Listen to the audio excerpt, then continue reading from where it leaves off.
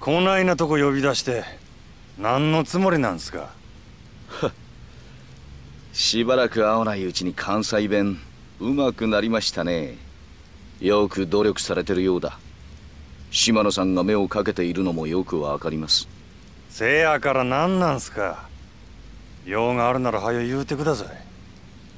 柴田礼服ですか今日は誰かの葬式ですか？いやそれは別に。ああそういえば笹井のとこの冴島も今日は礼服を着て出かけて行ったみたいです。そそうですか。担当直入に言います。今日の上野義治の襲撃。真島さん行かないでください。どうしてそれを？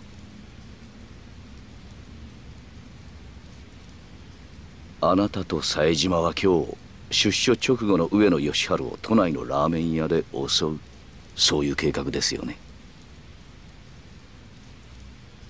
実はあの計画ちょっと問題がありましてね。予定を変更させてもらうことになりました。どどういうことや？上野清和会を今潰すのは得策ではない堂島組長がそう判断したということです。な何やと？そう興奮しないで。これはあなたが所属する堂島組が決定したことなんですから。柴田藩ちゃんと説明してくれや。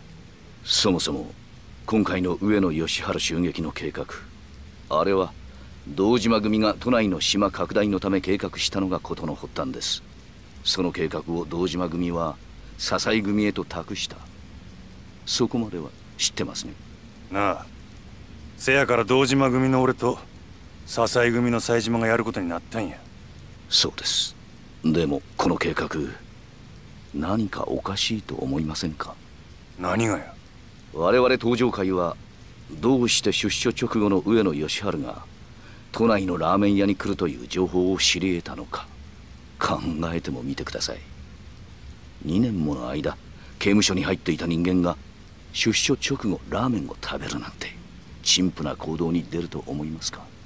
上野清和会の総長ともなれば組が用意した方面祝いに向かうのが常識です。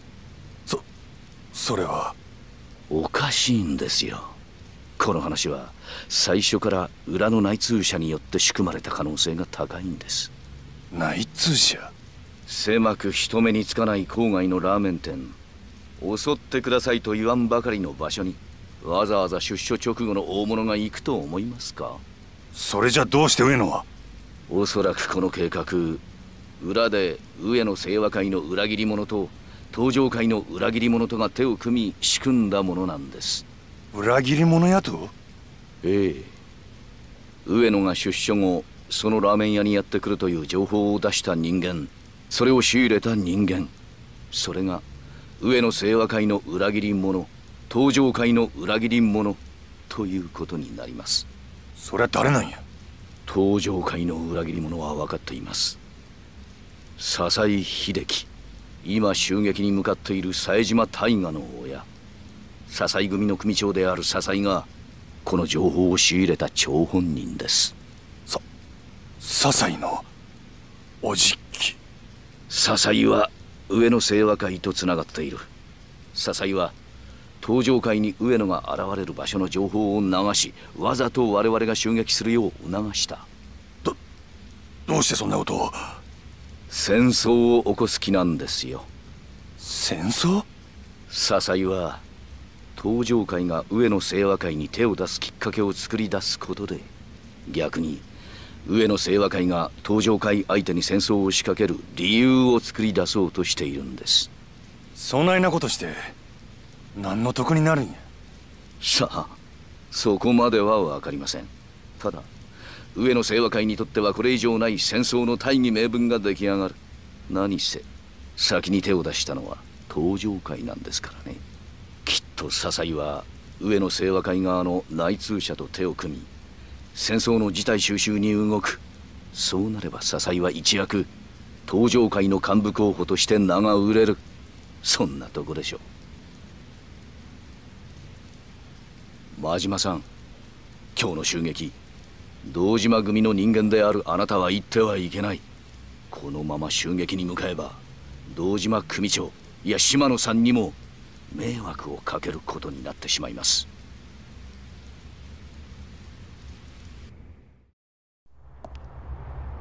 真島さん？私の話聞いてますか？兄弟はもう向かってねえや。じゃあ俺はどうしたらええんじゃ？ま真島さん。あんたは俺に兄弟裏切れっちゅうんか？このまま見殺しにせえっちゅうんか？落ち着いて落ち着いて。俺は行く。たとえどんな裏があっても構へん俺にとって冴島はたった一人の兄弟なんじゃ。真島さん。でもそれじゃああなたの身も。うるさい関係ないわ！こっちはそないのもとっくに捨てる払ってきたんじゃ。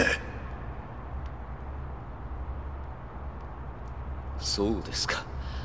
それじゃ仕方ありませんね。おい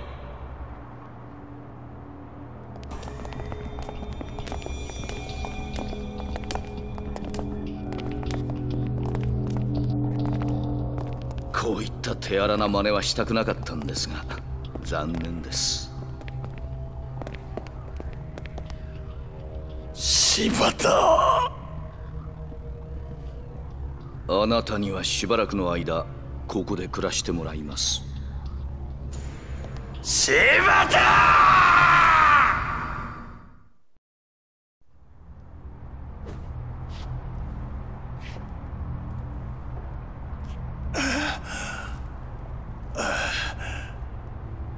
くそなんて野郎だ。この人数相手に。手こずらせやがって！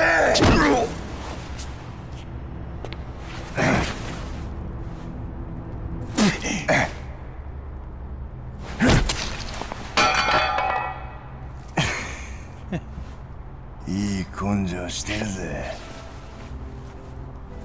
さすが襲撃を任されるわけだ。いいか。俺たちは親父の命令であんたをここに監禁してるわけだが殺すなとしか言われてねえ。つまりだ暴れたあんたを落ち着かせるためなら多少の傷を負わせても何にも問題ねえってわけだ。例えば目ん玉の一つくらいだったらな。さあ謝れ。泣いて俺に詫びろ。できへん。何？俺が頭下げれんのは自分の親父と自分が認めた男だけや。それじゃあ覚悟はできてるってことだな。目ん玉一つくらいでお前には頭下げん。ああそうかよ。